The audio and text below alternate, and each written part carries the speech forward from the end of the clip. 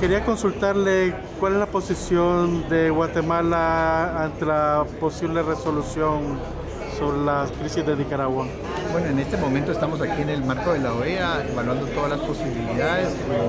Lo hemos dicho, estamos aquí como Guatemala viendo todos los elementos necesarios para la preservación de los derechos humanos y tendremos un diálogo abierto para poder ver los efectos de esta resolución. El gobierno de Guatemala con los vecinos de Centroamérica estaría dispuesto a tener una conversación, un diálogo con Ortega para crear apertura a la situación de derechos humanos. Por supuesto que nosotros estamos en la mejor disposición, tenemos foros importantes como es el SICA, el Foro de las Estados del Caribe, tenemos que tener ese diálogo en Centroamérica y por supuesto estamos en la mejor disposición de entablar cualquier diálogo necesario para poder preservar la paz de la región, pero especialmente la seguridad también de nuestro continente.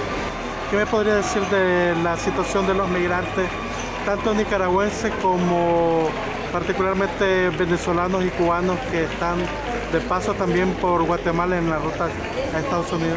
Bueno, es un momento muy importante para toda la región de Latinoamérica. Sabemos que del Darién hacia acá el paso irregular que se ha ido generando de muchos hermanos caribeños y centroamericanos hacia el paso al norte es algo que nos preocupa bastante. Guatemala estará liderando el grupo de trabajo de reinserción y retorno vemos importante también el tema de la declaración de Los Ángeles, que fue parte de los compromisos que asumimos en el tema de la Cumbre de las Américas.